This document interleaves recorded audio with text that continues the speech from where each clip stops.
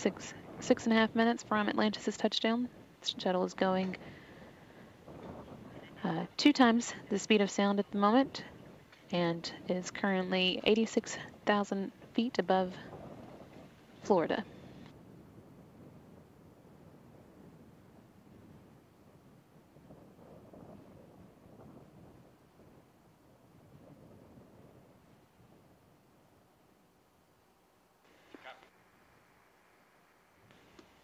Atlantis is approaching the imaginary circle leading towards the runway that's created by the microwave scan beam landing system. That'll allow the commander and pilot to guide the vehicle as it makes its final approach to runway 33 at Kennedy Space Center. Commander will be taking control of the shuttle's steering once its speed is dropped below Mach 1. It's below the speed of sound. Atlantis is currently traveling at two times the speed of sound. We actually have the uh, runway in sight now. We'll lose it in a bit. Copy.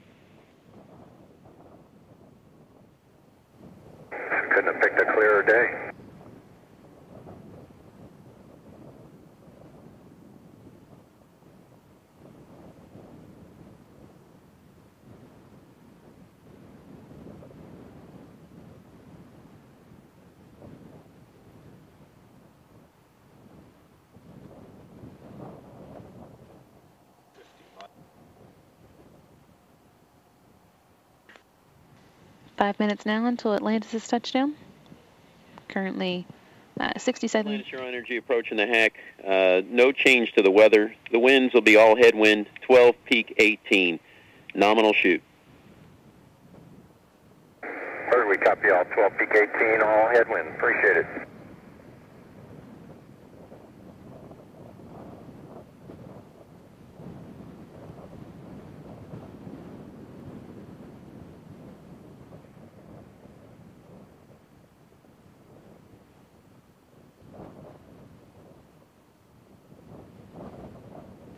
Seeing here the same view that the commander and pilot are seeing from their heads-up display as they approach Kennedy Space Center. They'll be performing the head or meeting the heading alignment circle here in just a moment, where they'll be making a 300 degree turn, right hand overhead turn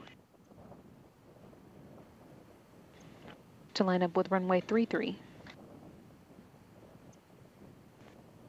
Commander Charlie Hobaugh now uh, flying Space Shuttle Atlantis.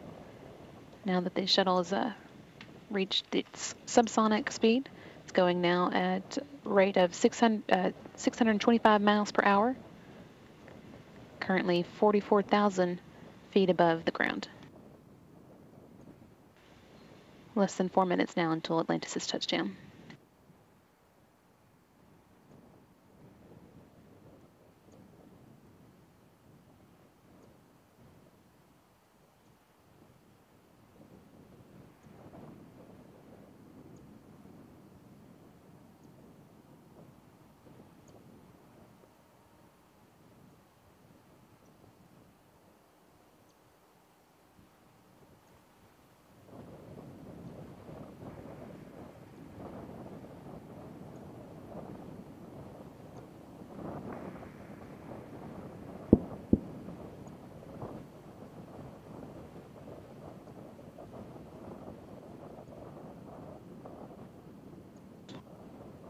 Atlantis slightly low at the 180.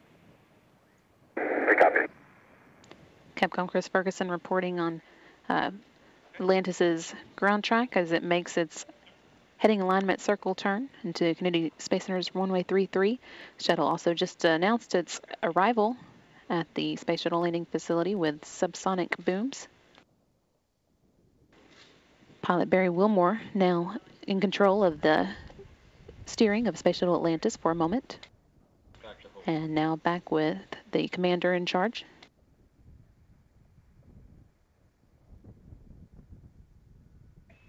Atlantis slightly low at the 90.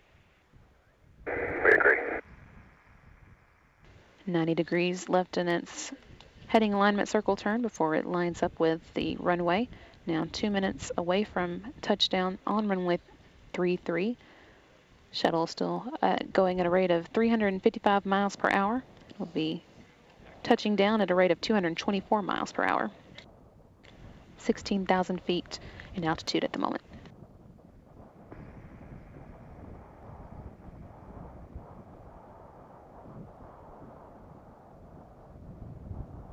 Hey, Houston, we're field to site. Copy.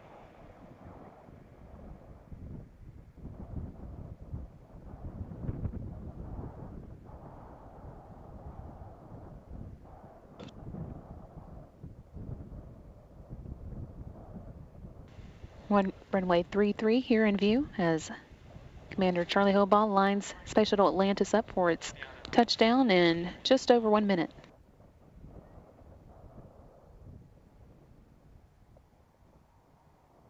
Atlantis' is speed 356 miles per hour and 6,700 miles above the, in altitude.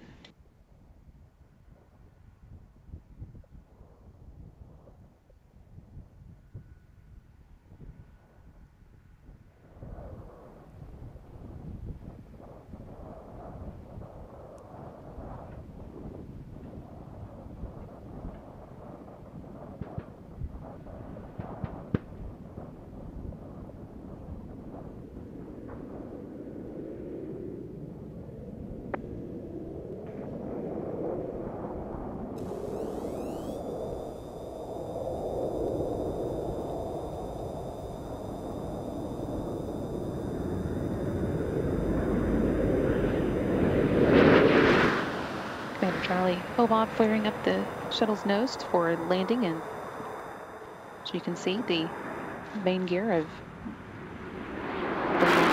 in place. Main gear touchdown. Pilot Barry Wilmore deploying the drag chute.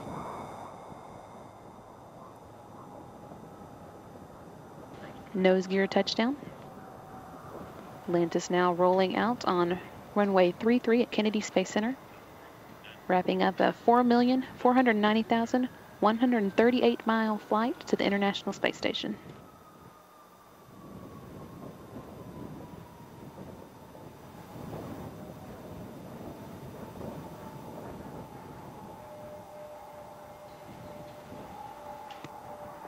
Houston, Atlantis, we'll stop. Roger, we'll stop Atlantis. That was a picture perfect end to a top fuel mission to the space station. Everybody, welcome back to Earth, especially you, Nicole. We'll meet you on page 5 3, the entry checklist. Begin the post landing. First, thanks.